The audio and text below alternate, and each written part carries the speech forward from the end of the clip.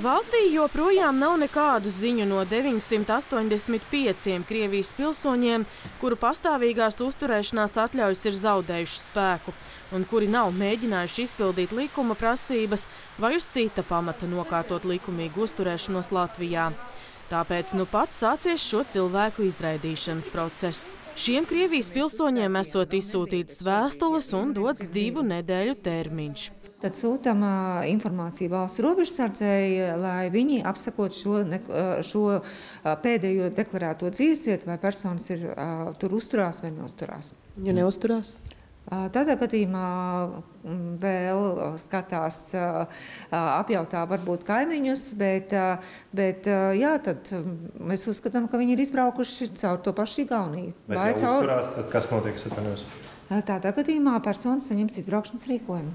Šāds pats process tiks iedarbināts arī aprīlī pret tiem Krievijas federācijas pilsoņiem, kas ir vismaz mēģinājuši kārtot latviešu valodas pārbaudi, bet nesekmīgi. Viņi var pieteikties divu gadu termiņu uzturēšanās atļaujai un latviešu valodas pārbaudu kārtot arī vēlāk. Bet vismaz līdz šim ap 2500 cilvēku pārvaldei nav iesnieguši vajadzīgos dokumentus un likuma prasības ignorē. Viņiem vēl ir laiks dokumentus sakārtot. Arī tie Krievijas federācijas pilsoņi, kas līdz šim nav atsaukušies – Ja ir tāds pamats, var pieteikties cita veida uzturēšanās atļaujai, piemēram, uz laulības vai ģimenes apvienošanas pamata.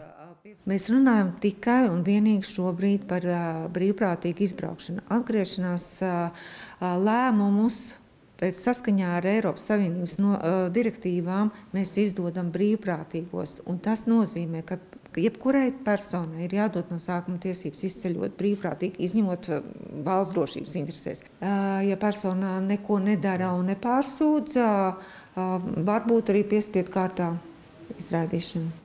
Šobrīd lēmums izraidīt no valsts pieņemts pret diviem Krievijas federācijas pilsoņiem. Labā ziņa, ka vairums no šiem cilvēkiem savu statusu ir sakārtojuši. Daļa nokārtojot valodas pārbaudi, vēl daļa piesakoties kādam citam uzturēšanās veidam, vēl citi aizbraucot prom. Piespiedu izraidīšana noteikti būs. Cik daudz cilvēkiem, vai desmitiem vai simtiem, redzēsim praksē. Tas nenotiks vienā dienā. Viena daļa varbūt, protams, gaida arī satversmes tiesas spriedumu, kāds tas būs.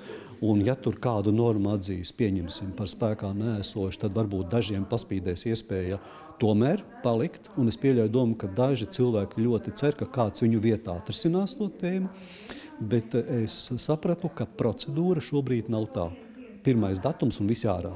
Pilsonības un migrācijas lietu pārvaldē pieļauj, ka daļa no šiem 985 izraidāmajiem Krievijas pilsoņiem Latviju varētu būt pametuši. Vita Anstratijāns Goldbergs, Latvijas televīzija.